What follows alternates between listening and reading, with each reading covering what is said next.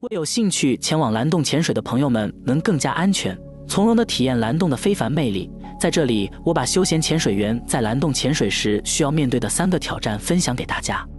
挑战一：潜水员需要从岸上直接跳入这个像金字塔墓道一样狭窄的通道，从水面垂直下潜至三十米甚至更深的深度。这个垂直狭窄的管道绝对是幽闭恐惧症患者的地狱。潜水员需要一边给浮力控制装置 BCD 放气，一边要平衡体内压力并控制下潜的姿态。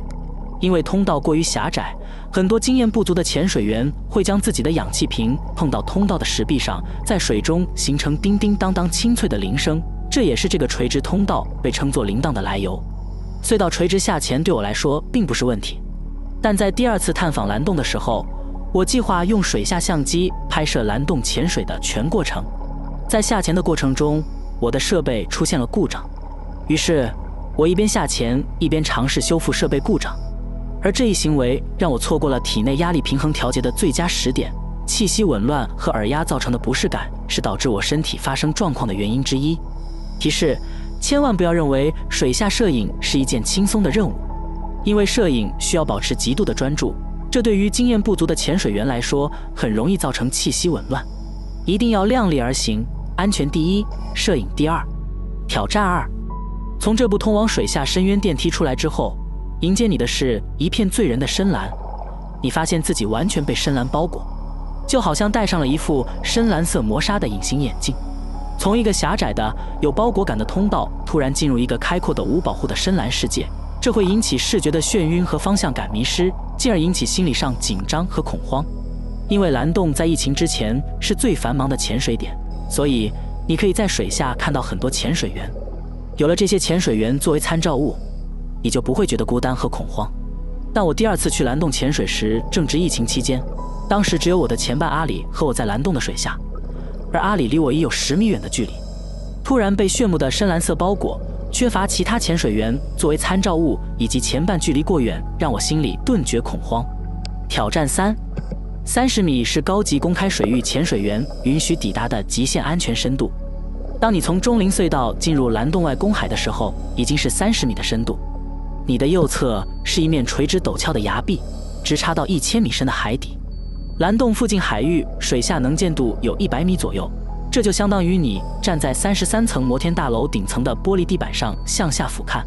很多习惯了在一眼渴望见海底的珊瑚礁潜水的潜水员，面对这深渊一样的海底，会感受到恐高症引起的腿软和内心恐慌。被深蓝包裹的眩晕感和恐高症引起的紧张相互交织，让本来就气息紊乱的我呼吸变得急促起来。当时我的前伴阿里还没有发现我出现了不适的状况，我的潜水手表已经提示我的深度超限。当时我坠到了三十四米的深度。心里的恐慌让我想紧急上浮，快速的逃离水下，但是我已在三十米的水下，没有时间上浮到水面去解决呼吸不适的问题。我自己尝试用深呼吸来调整气息紊乱的状况，但恐高和水下孤单造成的心理恐慌导致我呼吸短促而窘迫。幸好阿里及时来到了我的身边，示意我抓住他的胳膊，闭上眼睛做深呼吸。曾有那么一刻，我感到自己的心脏已经到了极限，无论怎么努力。呼吸都越来越短促和窘迫，已经濒临昏迷的边缘。幸运的是，最终求生的意志力战胜了心里的恐慌，呼吸窘迫的问题逐渐得到了缓解。那种感觉就好像电影里被怪物追杀的主人公在持续用力按着似乎接触不严的逃生门按钮，就在怪物要将主人公吞噬的一刹那，门开了，主人公得以逃生。这是我目前为止最接近死亡的一次体验。但正是因为这次意外。让我对蓝洞水下世界的景象产生了与其他潜水员截然不同的观察视角。虽然事后我仍会感到一丝后怕，但更多的还是心有不甘。对比两次蓝洞潜水截然不同的表现，除了水下相机的因素外，更多的还是心理因素作祟。